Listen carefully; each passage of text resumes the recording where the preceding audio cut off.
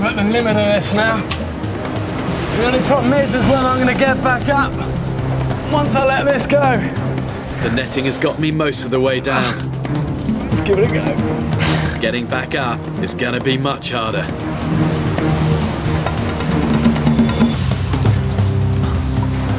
Well, look at the size of this.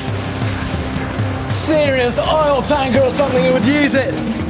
But one thick strand probably means about 500 little strands. But it weighs a ton. There's no way I'm to drag this back up there. Let's see if it floats and I'll swim around.